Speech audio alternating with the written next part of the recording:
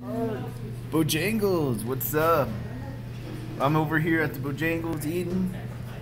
There's Ice Lord. Hello. He eating too. Bojangles. The other blades are off snowboarding and skiing. But we needed some food, so here we are. Alright, Blades, talk to you later. Bye.